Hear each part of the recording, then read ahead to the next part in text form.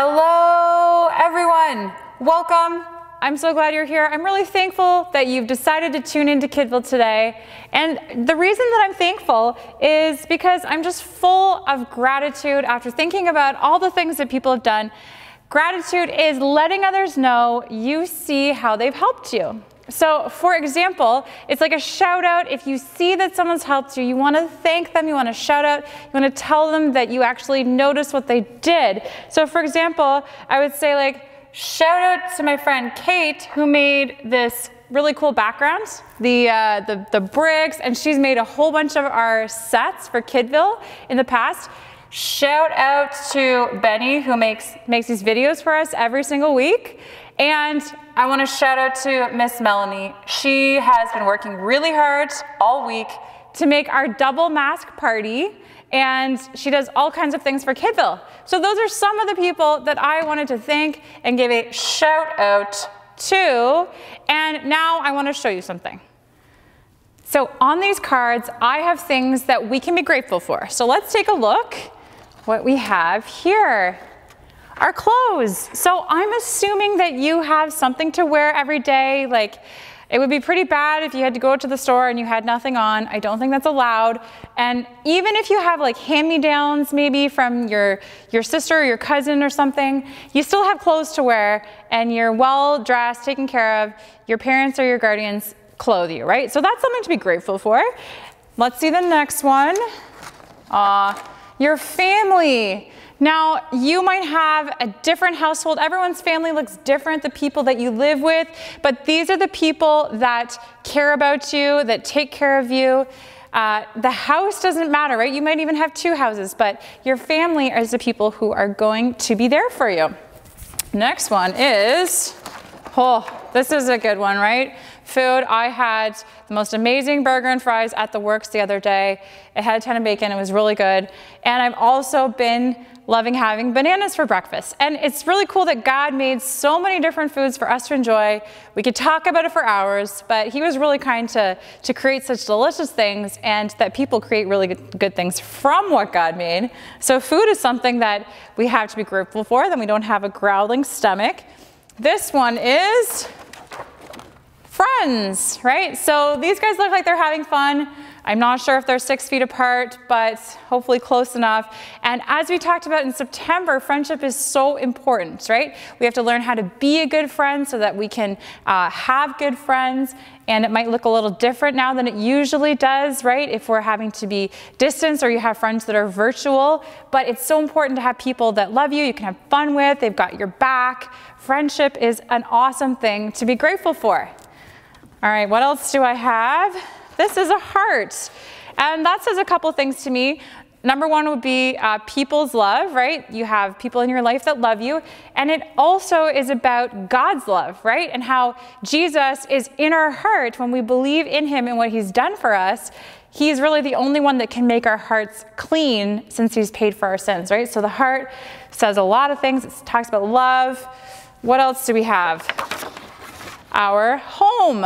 Okay, so this is a nice looking house everyone has a different looking house, everyone has a different home, and uh, as long as you have like a roof over your head and a bed, you have a lot to be grateful for. That's a really awesome thing to take the time to thank God for. Um, what else do we have? We have, oh, look at this. A lovely hill and trees and sunshine and blue sky nature is something I know I've been really thankful for because even when everything else is closed, nature's not closed, right? We can still go outside, go for a walk, and enjoy what God has made outdoors, right? And my last thing I have to be thankful for, all right, which of you guys love your pets, right? Do you have real, maybe you don't even have your own pet, but you love animals. Um, I want to know all about your pets. I know that they're really important to a lot of you. They're like a member of your family, right? So I know a lot of you guys are grateful for your pets. So look at all these awesome things. I want you to take a, a quick look. All right, study the pictures because then I am going to uh, put them back to the front and I'm going to ask you a couple memory questions, okay? So you've seen the pictures, you considered all these different things that we can be thankful for. All right, so now let me ask you a memory skill testing question. In the picture of the friends, how many friends were in the picture? Do you remember? If you said four, you're right. That was an easy one. Now this one's a little trickier. How many family members, okay, how many members of the family were in the picture of the family? What do you think? Do you know? If you said one, two, three, four, five, six, then you're right. I counted the little dog. Okay, I'm to do one more. What color was the apple in the food picture? I mean, it could be red, it could be green. In this case, it was a yellow apple. Super random, but I thought I would trick you. I, if you said yellow apple, I would be super impressed. So we want to remember to say thank you, to show our gratitude. Well, let's remember what God has done right now. We're going to sing and dance and praise God. So let's get on our feet.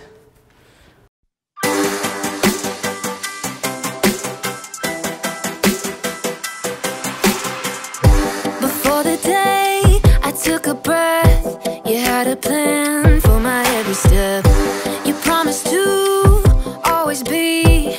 By my side. I believe that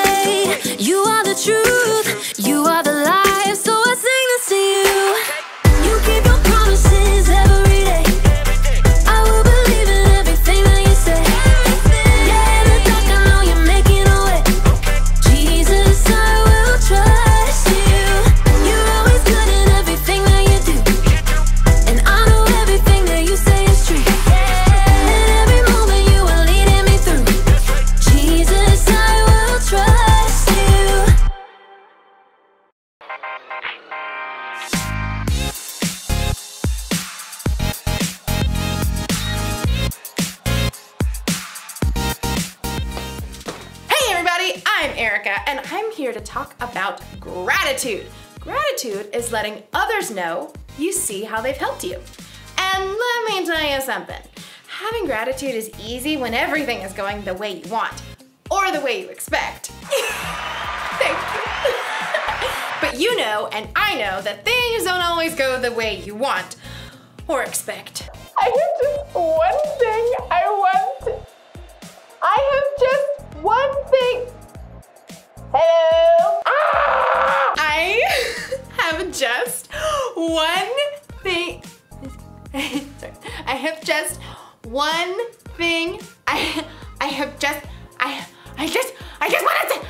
Wait a second. No. Ah! I have just one thing I want. I just have one thing that.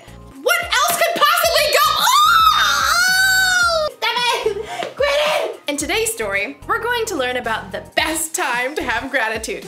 I'll give you a hint. It's not always when. it's not always when things. Oh, come on! I'm not even using a microphone! Oh! I'll tell you later.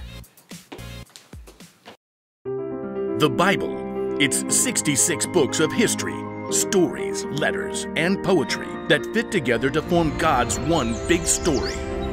The epic adventure of how He created us and loves us so much that He made a way to rescue us. As we travel through the Bible, from Genesis to Revelation, we discover people who met God and found their lives changed forever. And now for an amazing story, inspired by the book of 1 Thessalonians, chapter 5, verse 18. Ilsa sighed as she trailed along behind her mom at the grocery store. Can I just go wait in the car? Mom handed Ilsa a tiny loaf of bread to put into the cart. You need to learn for yourself what you can eat. Nothing. I can't eat anything. Earlier that day, Ilsa had gotten the food sensitivity test results back from the allergist. No gluten, no dairy. No artificial colors or flavors. I don't even know what gluten is. It's in bread and pasta and crackers and a lot of other things. Ilsa grabbed the loaf of bread. Then what's this? Gluten free bread. It looks like cardboard. As they reached the dairy case, Ilsa spotted the new holiday display. Yes, they've got eggnog. She reached for a carton, but Mom shook her head. Eggnog has dairy in it, hun. You can't have milk. Let's try this instead. Mom picked up a small carton and handed it to Ilsa. Soy nog? By the time they got home to unload groceries, Ilsa was miserable. You've gotta be kidding. What about Sunday dinners? What about Aunt Ellen's stuffing and Grandma's rolls and pie and all the good stuff? We'll find options for you, I promise. Ilsa reached for her plastic pumpkin full of candy on the counter. She grabbed a mini candy bar and then stopped, a sinking feeling in her stomach. I can't eat any of this now, can I? I'm sorry, hun. When Ilsa opened her lunch bag at school the next day, she tried not to groan. A sun butter sandwich with gluten free bread, a bunch of grapes, a few carrots, and some weird looking oatmeal cookies. Where's my string cheese? Oh, right. Ilsa couldn't bring herself to finish lunch. Her stomach still felt empty as she settled back into her seat at social studies, where their teacher, Mr. Mendel, dimmed the lights for a slideshow. One of the best ways to learn about other cultures is through something we all do every day. Any ideas what that might be? Like what we wear?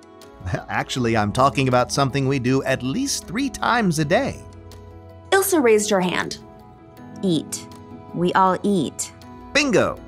A famous photographer took photos of families all across the world, along with the food that they eat in one week. I want you to pay attention to the details. This first family lives in Great Britain. The first photograph included a family from the United Kingdom. The overflowing table of food included cookies and pizza. Mmm, pizza. Here's a family in southern Italy. The next image showed a family with three small children. The loaves of bread on the counter looked so fresh, Ilsa could practically smell the scent of baking bread. Ooh. This is Germany. The next image showed another table top loaded with food, but Ilsa could only focus on the container full of ice cream front and center. Yet another thing she could no longer eat. Her stomach rumbled. Here's a family in Bhutan. It's a small country beside India. The next photo showed 12 people with a colorful display of vegetables, a large bag of rice, and a small amount of meat. Ilsa frowned. That's all they eat? It's what they have to work with. This next photograph is from the country of Chad, in Central Africa. A family of six sat on the ground. In front of them, a tiny bag of grains, a small amount of beans, and a handful of vegetables. Wait, where's the rest of their food? That's it. For a whole week? Ilsa shook her head. That's just. Ilsa? What are you thinking? I guess I knew that some people don't have the same things to eat that we do, or as much. It's just different. Seeing it. The colorful photos haunted Ilsa for the rest of the afternoon. She was quiet as she took off her backpack in the kitchen at home. You want a snack, hun? I've got some trail mix. I'm good. Ilsa pulled her lunch bag out of her backpack and opened it up. How was the gluten free bread? It was okay, actually. I'm going to finish my sandwich now. Ilsa took a bite of her sandwich and chewed. It wasn't like regular bread, but she could get used to it. What's that thing Grandma always says before dinner? What thing? I don't. Before the prayer. It's the verse, like say thank you, whatever happens. Oh, um, it's from Thessalonians, I think. Mom checked her Bible app. Give thanks no matter what happens. God wants you to thank Him because you believe in Christ Jesus. Yeah, that. Ilsa smiled and took a bite out of one of the oatmeal cookies. Hey, these are really good. Thanks for making stuff I can eat. Ilsa knew it would take some time to adjust to her new eating plan, but she was glad for the reminder that she still had a lot to be thankful for.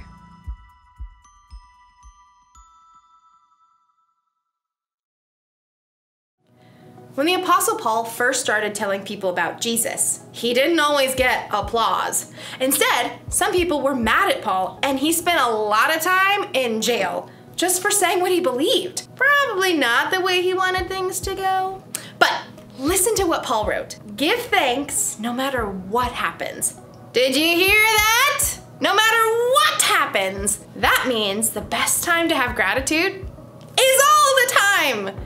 When you get picked for the team and when you don't get picked. When your mom buys your favorite cereal and when your sister eats the last bowl. When you're in school, when you're out of school, even when you're quarantined in your house. There's always something to be grateful for, if you look hard enough. Here's a good place to start.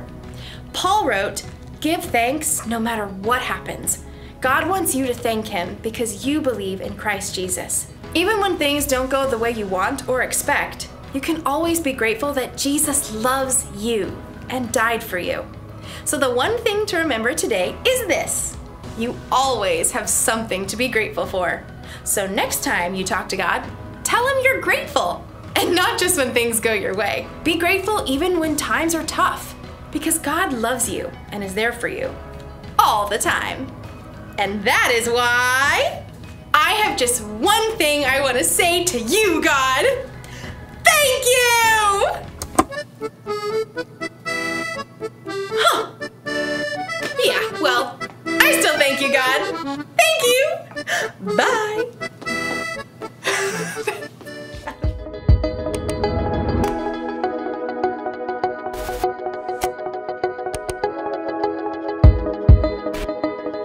Being grateful is an important part of following Jesus because it's really cool when you think about what you have to be thankful for and when you choose to have gratitude. It's, it's like Jesus says that He will give us joy no matter what. Through all of life's up and downs, it's not based on our circumstance, but God gives us joy through everything because we choose to focus on what we have to be thankful for. So remember what Paul said in that verse that we heard in 1 Thessalonians give thanks no matter what happens. God wants you to thank Him because you believe in Christ Jesus. So Jesus is the very beginning of it all. When you follow Jesus, you always have something to be grateful for. It's not based on our circumstances and our ups and downs, but it's because we know that we have Jesus and that He gives us joy through everything. So, guys, say it with me. This is our bottom line for today. You always have something to be grateful for. Join me one, two, three. You always have something to be grateful for. Okay, I don't really know if you meant it. I'm gonna need you to say it a little bit louder. So let's try that again. One, two, three. You always have something to be grateful for. Always. So let's thank God together right now and just think about all that we have to be thankful for. Let's pray. Dear God, thank you for creating us. Thank you for sending your son Jesus to die on the cross and pay for our sins to give us life in you. Thank you that no matter what happens, we can pray to you and you can show us the joy that we have from following Jesus. I pray that you would give us joy no matter what we face in life. Help us to look around for all the things that we can be grateful for this week, and that we would be able to show gratitude to uh, the reasons that we can be thankful. We love you in Jesus' name, amen. So when we talk to God, we, we don't just have to uh, talk about the things that we need, right? It's not just like, oh, God, give me this or give me that. We want to also make sure that we thank Him for the things that He's done and the things that He's given us, the people He's given us. So remember to always thank God. That's your, your go to, your first thing you should do is to thank God for how awesome He is and what He's done for you. And when you do, your gratitude will turn to joy. So that's super exciting. I have a memory verse for you. We're starting a new month, so we have a new memory verse, and it talks about giving thanks to God. Give thanks to the Lord because he is good. His faithful love continues forever. That's from Psalm 136, verse 1.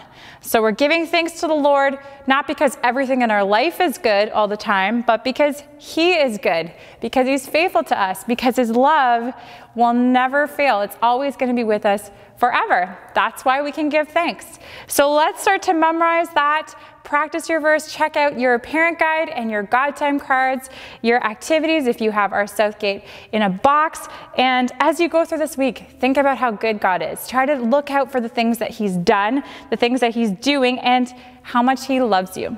So let's uh, be grateful this week and make sure to give a shout out to anyone that you see that has helped you.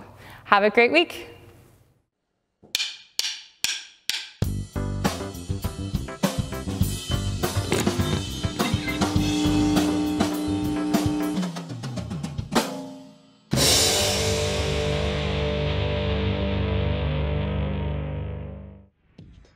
Where does gratitude start?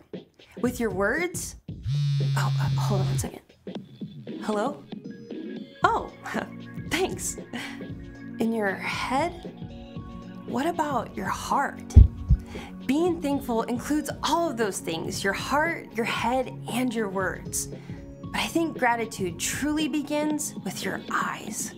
It starts with paying attention, stopping to see the people around you and all the other beautiful things in your life, like the way your dad buttered and cut your toast just the way you like it. That crossing guard standing in the pouring rain to make it safe for you to get to school. The way your kid brother can turn even cleaning your room into a party. Your fingerprints that God designed for you and no one else in the whole world that amazing, breathtaking sunset on the way home from dance class. When you truly see these things, it changes your heart. The words bubble up in your mind and you can't help but say thank you. The more you remember to thank God and the people around you, the more others can see God at work in you. And that's why gratitude is an amazing way to worship God with your life. Because worship is about more than just singing loud, it's all about living loud.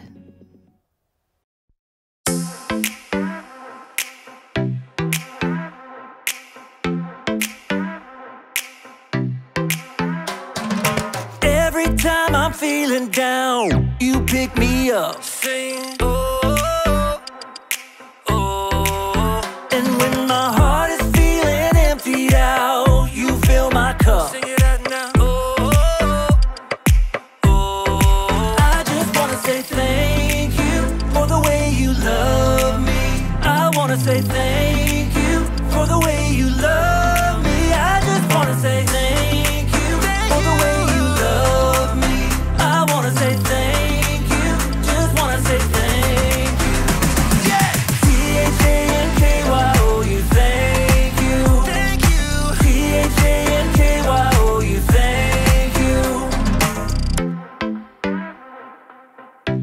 Here we, here we go, verse 2. I'm grateful for the way you've been a friend to me. Sing, oh,